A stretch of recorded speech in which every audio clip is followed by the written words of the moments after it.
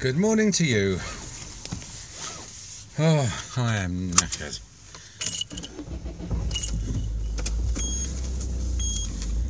It's Monday, there's something. Oh. Monday the 12th of June, which is very nice. If it's your birthday today, happy birthday. To be honest with you, I put this, I put the old camera on. I don't know what I'm going to talk about. I might talk about nothing. If I talk about nothing, you'll never see this.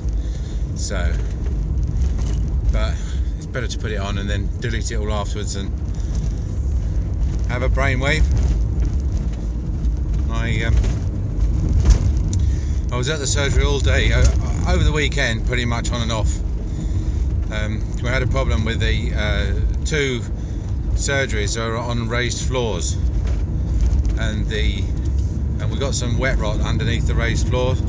We had a leak, and then uh, we thought we fixed it, and then we found it was still leaking, so we fixed it. Then we did we did definitely fixed it the second time, but then the the wet rot then got into the timbers, and so I've had to lift up the um, floor and uh, replace some of the timber underneath and relay the floor. So the guy, the guy who, the guy who I bought the surgery off, does not like spending money. He does everything as cheaply as possible. He caused he caused so much trouble for himself.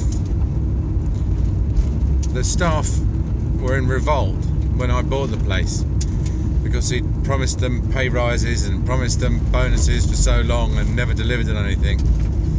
And that was just the first of a long litany of problems which arose out of the fact that he's, you know, I mean, to give you an idea, what's that? Don't tell me somebody's ringing me. Hang on, stand by. I thought I'd put the thing on airplane mode, but uh, which I do to try and uh, you know uh, avoid any lip sync issues because I still haven't quite got to the bottom of what causes the lip sync issues. It could be anything. Could be not recorded in sync or it's not transferred in sync anyway. By the time it gets into the editing software, it's not in sync. So I'll still I'll narrow it down anyway.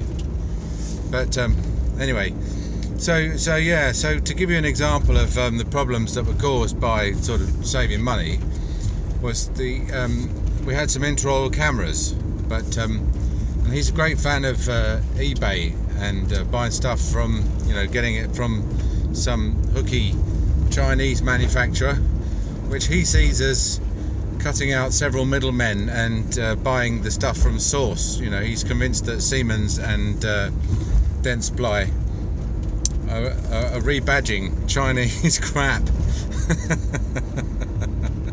so he, he decides to get it directly. So we had these intraoral cameras that were really terrible, and uh, and uh, so I had. I mean, I, I I to tell you how bad they were, I actually replaced them with some other Chinese cameras that that actually work. But I think my Chinese cameras cost ninety pounds each, and his Chinese cameras probably cost six pounds each. So. I mean, they're not brilliant, but I mean, they are functional to the extent that we need them. You know, I mean, I wouldn't, uh, I wouldn't try and view bacteria down them, but, but on the other hand, you don't have to pay like fifteen hundred pounds or two thousand pounds for a, for a, for a, you know, a badged, you know, sort of mugs, a mugs version from a top German manufacturer, which is, I'm sure, no, no doubt, technically superior, but just ridiculously priced and uh, you know, and it just carried on like that. You know, your, your, things that were wrong with a chair that had been repaired with Impregum, and uh, oh, I don't know, the litany is to you know, uh, computers, problems with the computers because they, it was trying to do things that couldn't be done, you know, on uh, RAM that needed to be upgraded, computers that needed to be upgraded. Anyway that was about there wasn't i mean i went into it with my eyes open so i knew i didn't know about all the impregum repairs and everything but so when this floor went rotten it was not it's not a massive surprise i mean my my sort of what I've come, what I've learned from this weekend is that, uh, well, let, let, let, me just go back. Like about 20 years ago, I have a new floor in the toilet in my surgery, my original surgery in uh, uh, Tankerton, Whitstable, and um, so I sort of uh, worked out how to do it and laying and I think it was a cork tile floor. So what you had to do is you had to put down hardboard uh, over the floorboards first of all and then that then has that, that that has to be stapled down basically because if you try and nail that down then when you come to pull it up again it's a nightmare. So that's a tip, tip for today is if you're going to put a hard board down over your floor, then staple it because you can literally then just lift it up and all the staples come out with it. But once you've done that, also it's much quicker.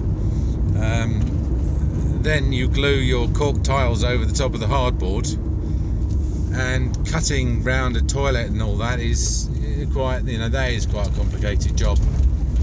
Um, but anyway, I did it, and then shortly afterwards, I decided uh, there was a bit of money for uh, consultancy a bit of subsidy, you know, the sort of thing where you, you get three thousand pounds worth of consultancy for fifteen hundred pounds, and the the the charity or whatever the local authority that's giving it to you says, oh well, we'll we'll match your donation. You know, if you put in three fifteen hundred, we'll put in fifteen hundred. But I, I, what I suspect is that the bloke who's doing the consultancy just agrees to do it for half price and the local authority or the charity then agrees to promote it and they don't, literally don't have any costs and the consultant just earns half what he would do normally which is still more than enough considering how useless the bloody advice is. But um, he came in and he sort of had a look around and you know told me and this is the this is the key right to all consultancy advice because people have asked me to do consultancy and I did when uh, the association, you know, when when I was, I used to visit a lot of practices, and I used to look at the, the practices, and then you can see straight away what they're doing wrong. You know, they're they're mostly they're grossly inefficient. They're just not doing things. You know, no, nobody sort of sat down and said, well, what's the most cost-effective way of doing this? And not, you know, and that's because in most surgeries it's the receptionists and the nurses that are doing a lot of the organising, and they're not. They're just not coordinated enough and, and don't have enough experience in other businesses to see. Uh, it's, it's like if you get a practice manager, and I mean, I've got my receptionist said to me, I want to be the practice manager. So I'm like, okay, that's fine. But really, a practice manager is a massive job uh, if a corporate, if I owned a corporate body and I had say 20 surgeries, I'd want to have 20 practice managers in there running them. But they wouldn't need to run them, you know. I mean, they would have to do things like um, look at the profit and loss sheet, uh, management accounts, look at the balance sheet, and make management decisions, you know, day to day. They'd have to manage to make a profit for a start. Uh, they'd have to manage to recruit and keep the staff and that's when most people, most receptionists say, I want to be a practice manager. What they mean is, I want more pay. I'd like uh, an, you know, an improvement in my job description that comes with a pay increase, please. And then as to what they can do for that, you know, what can they, can they, I mean, my practice manager is very capable. She does all the practice accounts, for example, which means basically typing in the invoices and reconciling the uh, the credit books with the bank account. But that's not really managing. That's that's administering. So, anyway, wind back. So, when you're doing consultancy, you go in to a place and you say, look, now, for example, you don't have staff contracts. You need to put some staff contracts in. So they, oh, so they, oh, have you, oh, have you got any? Yeah, I can get you a pro forma staff contract. Okay, that's great. Can you send us some? Yeah, okay, I'll send you some. We don't know how to fill them in. Could you fill them in for us? And that's the problem. That's where your consultancy, that's when you decide that you're not going to do consultancy anymore because you're what you do is the, the sort of the surgeries that tend to call you in are they're making sort of quite decent money because it's quite hard not to make decent money as a dentist. But they um, they they really are not. Uh, you know, in some areas, in, in the areas in which they're seriously deficient, it's very difficult to know how to deal with that. You know, there's not really much in the way of training. You know, you, what, what, you can do is you can obviously you can say no, look, my job is not to run your surgery. It's just to tell you where you need to make changes to uh, run it more efficiently, and that doesn't include filling in um, your staff contracts. But you know, so you need to get a if you're having trouble with that, you need to get a solicitor to help you draw them up, fill them in. Oh yeah, but you know, it would only take you like 10 seconds, which it would, but that's not, you know, but I don't work for you, you know, I sort of, I've discharged my obligation in coming to see the practice and now, you know, I don't, I don't want to become your practice manager. So, the, this guy, this consultant, said to me, you know, why are you, as a dentist, laying a floor in a toilet? And I've always remembered that question because, if only because it came as a surprise to me, but not for the reason that you think.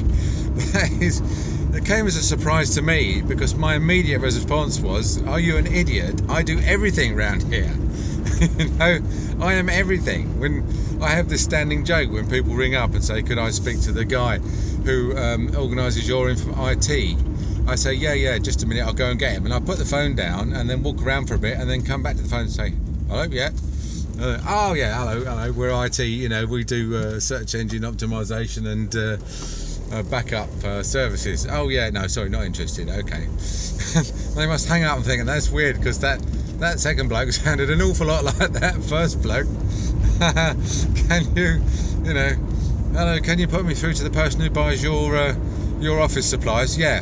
Oh yeah, wait a minute, he's out the back. Hang on a second. So I'll go out, leave him hanging around for a bit, make myself a cup of tea, come back. Hello? hello, yeah. Are you the office supplies buyer? Yeah, yeah, yeah.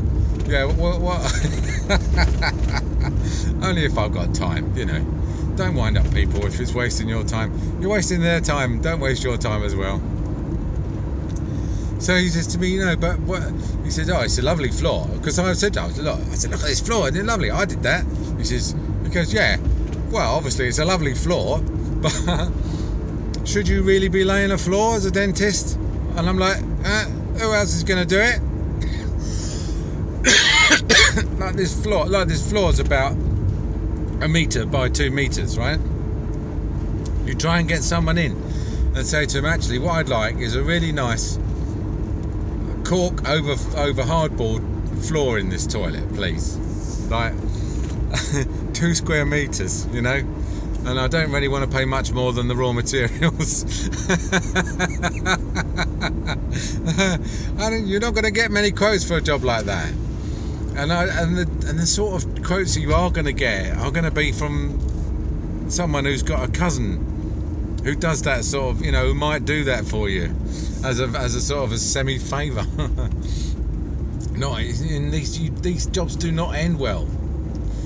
So anyway, so I laid the I laid the floor, and then he, he gave me a load of advice, which is when the consultants come in, I'll tell you what they'll do they'll tell you uh, basically to work a bit faster and harder and possibly work uh, stay open a bit longer you know that's the gist of it that's the gist of it just do basically what you're tweaking what you do just tweak it a bit and do just pull your finger out and just do a bit do it a bit more you know and so you're all geared up and you're all motivated and you've got the staff together and you've all had a staff meeting and perhaps you've had a, a working lunch and uh, you know, there's PowerPoint spreadsheets and presentations flying around, and everyone's oh, Mr. Watson's got a big consultant in, and da da da da da. And then what happens is the first couple of months is brilliant. Your, your turnover shoots up. You're like 10% over, 20% over what you normally do because everybody's working really hard, and then like a year later, you're back to normal.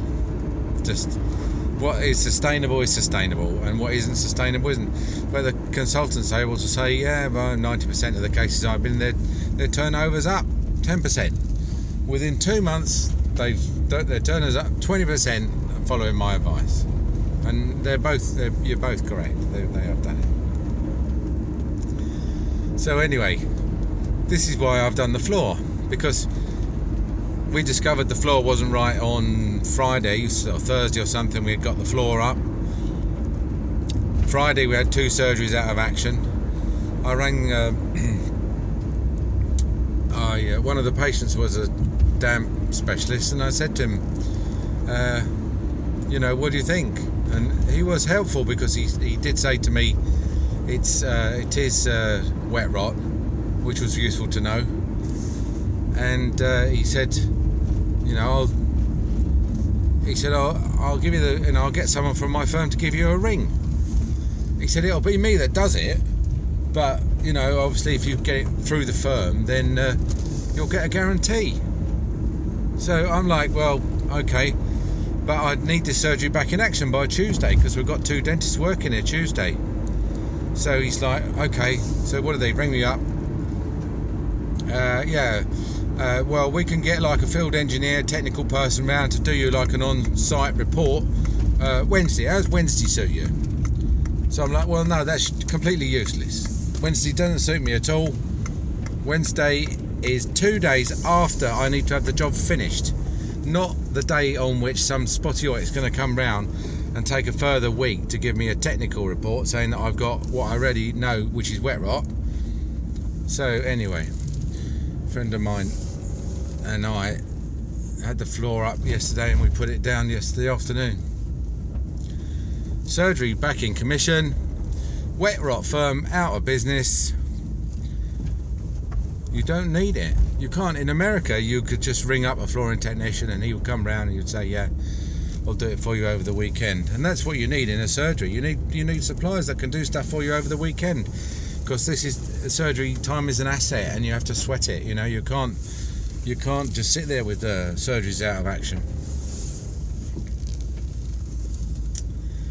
Right, okay, let's go and see if the staff have had the nous to put the lino back down, which I think they probably will have done. As soon as I sent them a group text yesterday, telling them to, the floor had been fixed, but they're going to need to pull their fingers out and get it working. Sorry about the camera problems.